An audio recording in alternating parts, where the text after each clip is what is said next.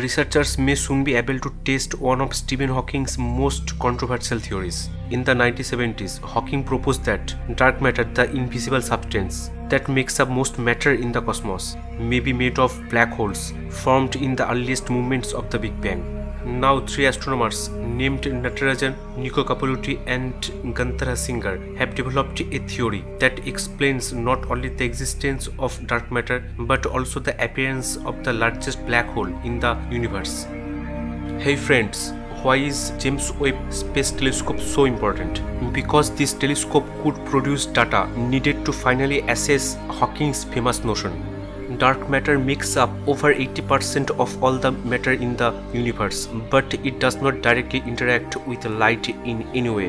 It just floats around being massive, affecting the gravity within galaxies. It is tempting to think that black holes might be responsible for this dark matter. Though black holes are famously dark, so filling a galaxy with black holes could theoretically explain all the observations of dark matter. But in the modern universe, black holes form only after massive stars die, then collapsed under the weight of their own gravity. So, making black holes requires many stars, which requires a bunch of normal matter. And scientists know from the calculation of the early universe how much normal matter is in the universe in the early universe first hydrogen and helium formed and there simply is not enough normal matter to make all the dark matter astronomers have observed Hey friends, in this situation in 1971, Stephen Hawking suggested that black hole formed in the chaotic environment of the earliest moments of the Big Bang.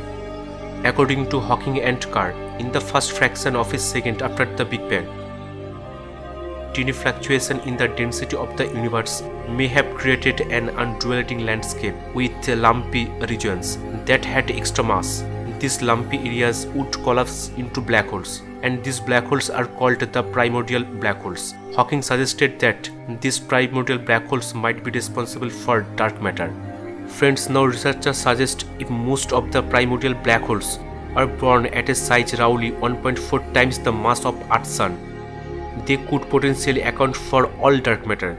Natarajan and her colleagues say their new model shows that the first stars and galaxies would have formed around black holes, and those primordial black holes would have the ability to grow into supermassive black holes by feasting on gas and stars in their vicinity, or by merging with other black holes.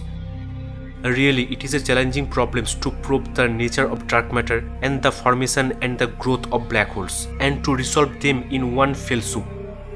So the James Webb Telescope is too important because it will find the first galaxies that form in the early universe, and it will also see stars forming planetary systems. If the dark matter is comprised of primordial black holes, more stars and galaxies would have formed around them in the early universe, and the James Webb Telescope will be able to see that early stars, galaxies and universes. And friends LISA, Laser Interferometer Space Antenna will be able to pick up gravitational wave signals from early mergers of primordial black holes. Friends, according to Hasinger, if the first stars and galaxies already formed in the so-called dark ages, Webb should be able to see the evidence of them. So friends, we can hope that two observations should give astronomers enough information to piece together the story of the first stars and potentially the origins of the dark matter.